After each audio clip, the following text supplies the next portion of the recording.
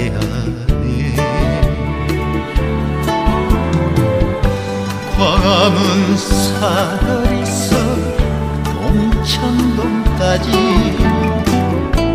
전철 두 번 갈아타고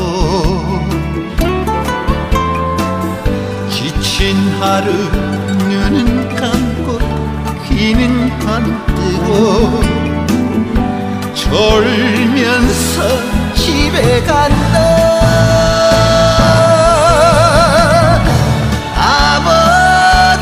아버지란 그 이름이 그 이름은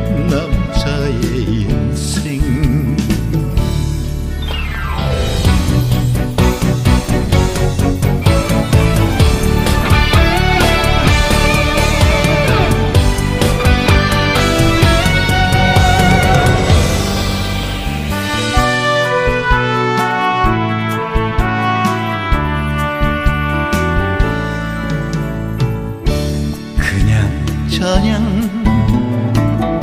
사는 것이 똑같은 하루하루 출근하고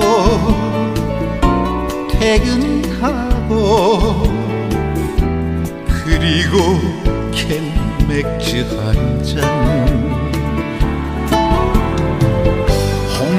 홍대에서 버스 타고 쌍문동까지 서른아홉 정거장.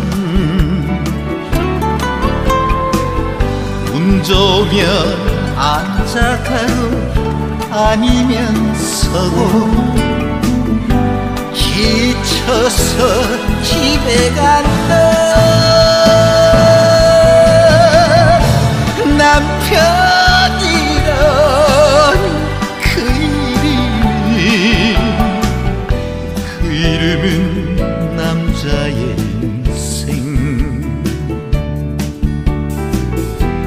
그 이름은 남자의 이름